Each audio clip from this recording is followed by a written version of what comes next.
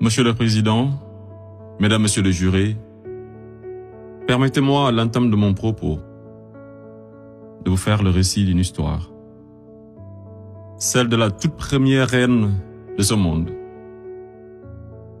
Une reine d'une beauté légendaire, au cœur pur et généreux, à qui la nature avait fait don de richesses inestimables.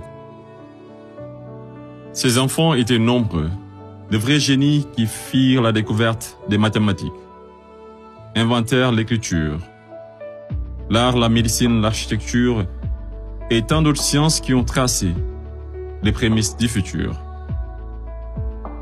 Ils vivaient tous libres et épanouis jusqu'au jour où la malédiction frappa la reine de plein fouet. L'ange de la mort venait de guider une vieille dame venue des contrées lointaines, dévastées par la sécheresse. Qui fut pendant très longtemps à la recherche d'une île autrefois appelée Eldorado. Elle parvint enfin à déposer ses valises aux portes de cette île aux multiples trésors cachés, accompagnée de ses enfants les plus assoiffés, puis songea à construire un cheval de Troie qui sera offert en signe d'amitié et lui fit don également de nombreux présents, parmi lesquels une boîte de Pandore. Le malheur s'empara alors de ce gigantesque royaume, entraînant la chute de sa reine, la mort de certains et l'exil d'autres des plus valeureux. Ce fut l'effondrement d'une civilisation qui aura duré des décennies, une histoire plagiée et falsifiée.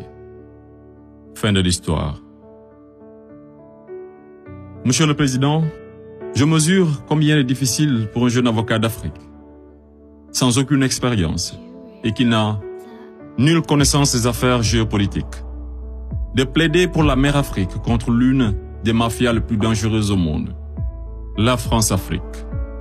Cependant, quoique trop inférieur à mes adversaires, j'ose espérer que je serai tout de même en mesure de vous exposer clairement les faits afin que vous n'ignoriez aucune partie de l'objet sur lequel vous êtes appelé à vous prononcer. Je vous prie alors de m'écouter avec bienveillance. Mesdames, Messieurs les jurés, vous n'êtes pas sans savoir que l'Afrique a été réduite à 400 ans d'esclavage, à 250 ans de colonisation. Et aujourd'hui encore, l'Afrique est sous la domination de ces délinquants, ces va en guerre criminels en col blanc, ces salauds et mafieux de la pire espèce. Objection Objection rejetée. Modérez votre langage. Désolé, Monsieur le Président. Le plus grand mal de l'Afrique, je n'ai pas peur de le dire, c'est les multinationales françaises, telles qu'Areva, Bouygues, Bolloré, Total et consorts, qui se cachent souvent derrière les dirigeants français, dont elles financent les campagnes.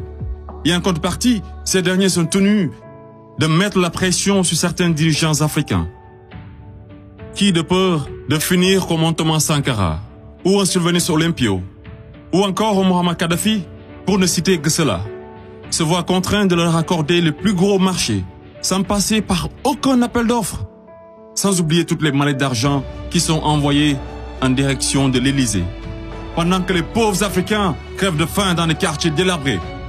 Et on s'étonne de voir de jeunes Africains désespérés s'embarquer sur le navire de fortune à la quête d'une vie meilleure. Et je vous assure qu'ils sont nombreux parmi ces jeunes à avoir tenté toutes les voies et moyens légaux, mais en vain. Pendant ce temps, la France et l'Union européenne se font des fortunes derrière leur business le plus lucratif, les demandes de visa Schengen, qui sont pour la plupart rejetées sans aucun motif valable. Monsieur le Président, avant que je n'oublie, permettez-moi de poser une question à la France-Afrique. Parmi tous les leaders africains morts assassinés, pouvez-vous nous citer ne serait-ce qu'un qui fut réputé un grand ami de la France? J'imagine qu'il n'y en a pas eu. Mesdames, Messieurs les jurés, je vous laisse juger. Monsieur le Président, j'accuse la France, enfin, la France-Afrique, de crimes contre l'humanité, de crimes d'agression, de crimes économiques et d'avoir été derrière des crimes de génocide. La plupart des dirigeants français sous la Ve République me rappellent des propos d'un homme sage qui disait, je cite, Les postes éminents rendent les grands hommes encore plus grands et les petits hommes encore plus petits. Fin de citation. Et le pire d'entre eux, c'est ce nain assassin de Sarko. Ce trafiquant d'influence, connu pour sa mégalomanie, l'homme au scandale multiple, Betancourt, Tapi, Kadhafi et j'en passe, ce criminel contre l'humanité, toujours en liberté, qui se la coule douce derrière les mélodies de la brune, alors que sa place se trouve à la haie. Vous lui direz que malgré tous ces mensonges, avec la complicité de certains médias, que le monde entier, et les Africains en particulier, connaissent toute la vérité sur les véritables raisons de l'assassinat de Kadhafi, sous les applaudissements de Bernard-Henri Lévy, et sur la chute orchestrée de Laurent Gbagbo, qui aurait commis un crime de lèse-majesté en voulant tout simplement ouvrir son pays à la concurrence internationale, en exprimant aussi sa volonté d'établir un rapport d'égal à égal avec la France, et en souhaitant revoir le contrat qui liait son pays à l'entreprise Bouygues. Bouygues, du fameux Martin Bouygues, un ami intime de Sarko, par ailleurs parrain sophiste du nom de lui, tous les deux impliqués dans le conflit ivoirien. Ce n'est pas un hasard. Mesdames, Messieurs les jurés, ai-je besoin d'en rajouter un mot pour que vous compreniez ce jeu d'échecs qui se joue sur le dos de pauvres Africains, alors qu'ils doivent tout à l'Afrique? C'est grâce aux Africains que vous avez une république que vous appelez la France. C'est grâce aux Africains que vous êtes enrichis. C'est grâce aux Africains que vous avez aujourd'hui votre statut de cinquième puissance mondiale avec un droit de veto au sein de l'ONU. Et c'est encore grâce aux Africains que vous avez deux Coupes du Monde à votre compteur.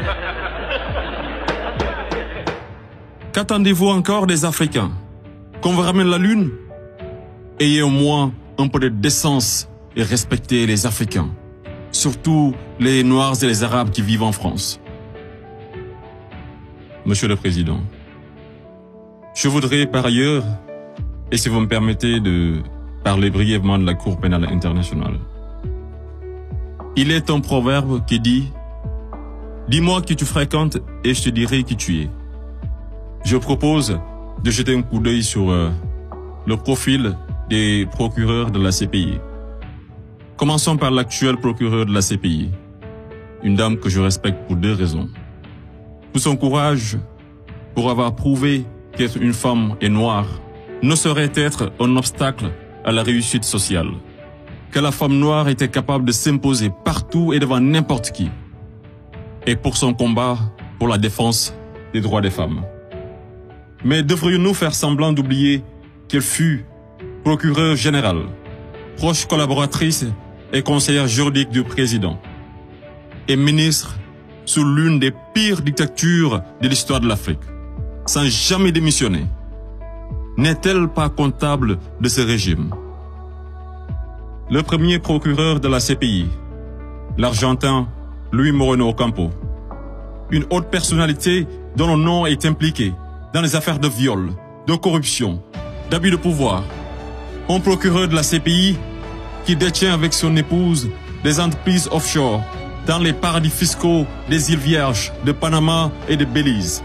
Et c'est le même type qui aujourd'hui offre ses services aux personnalités poursuivies par la CPI afin de les aider à échapper au séjour à la haie, moyennant de grosses sommes d'argent.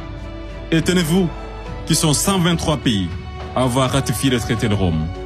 Et sur 10 enquêtes ouvertes, 9 sont africaines. Je me pose la question à savoir, sommes-nous dans une cour pénale internationale ou africaine? Voilà une cour qui représente pour les Occidentaux un instrument d'oppression et de domination des Africains et de leurs dirigeants.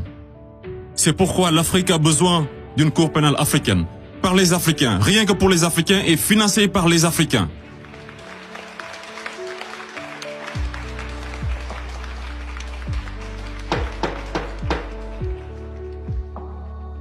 Monsieur le Président, je ne suis qu'un jeune ignorant qui ne prétend point détenir toute la vérité.